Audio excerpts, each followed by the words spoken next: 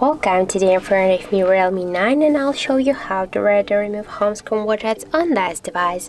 So first you should select the screen where you want to add the widget and after that just hold for a while the screen with your finger and after that you'll see here um, different icons. And here on the left upper corner you'll see the plus icon.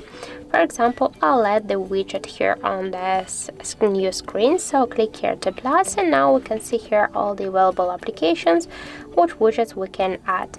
For example here we can see three, four different type of the clock widget. We can add the regular clock here. So just hold the widget and drag it to the section where you want to add it. For example here. Uh, if you want to move this widget between the screens you should hold it. And after that drag it by this way. Or also if you want to create a new screen with a widget just we can do it. Just hold it and drag it. So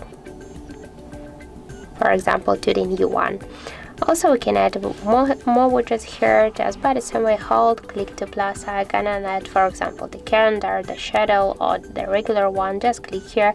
And now we can see here the new widget on our device home screen we can change the size of this widget just hold it and drag it. We can make it smaller or bigger as you can see. If you want to remove the widget just hold it and click on the right uh, minus on the right upper corner of the widget and then click here to remove widget. As you can see that's so simple. Then just click here to down to save all the changes.